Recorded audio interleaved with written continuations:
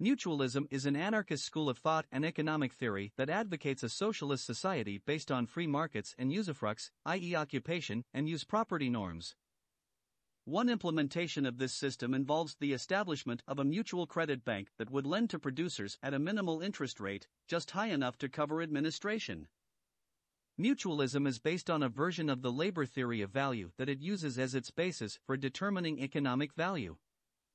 According to mutualist theory, when a worker sells the product of their labor, they ought to receive money, goods, or services in exchange that are equal in economic value, embodying the amount of labor necessary to produce an article of exactly similar and equal utility. The product of the worker's labor factors the amount of both, both mental and physical labor into the price of their product. While mutualism was popularized by the writings of anarchist philosopher Pierre Joseph Proudhon and is mainly associated as an anarchist school of thought and with libertarian socialism, its origins as a type of socialism go back to the 18th century labor movement in Britain first, then France, and finally to the working class Chartist movement. Mutualists oppose individuals receiving income through loans, investments, and rent under capitalist social relations. Although opposed to this type of income, Proudhon expressed that he had never intended to forbid or suppress, by sovereign decree, ground rent and interest on capital.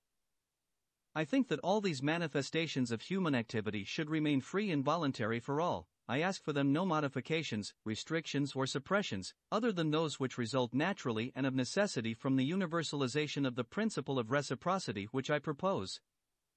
As long as they ensure the workers' right to the full product of their labor, mutualists support markets and property in the product of labor, differentiating between capitalist private property, productive property, and personal property.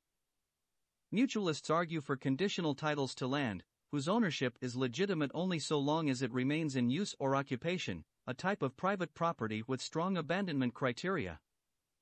This contrasts with the capitalist non proviso labor theory of property, where an owner maintains a property title more or less until one decides to give or sell it.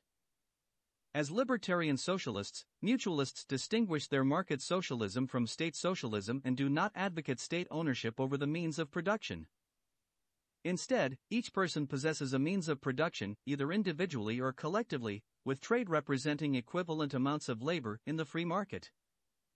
Benjamin Tucker wrote of Proudhon that, though opposed to socializing the ownership of capital, he aimed nevertheless to socialize its effects by making its use beneficial to all instead of a means of impoverishing the many to enrich the few, by subjecting capital to the natural law of competition, thus bringing the price of its own use down to cost. Although similar to the economic doctrines of the 19th century American individualist anarchists, mutualism favors large industries, Mutualism has been retrospectively characterized sometimes as being a form of individualist anarchism and ideologically situated between individualist and collectivist forms of anarchism.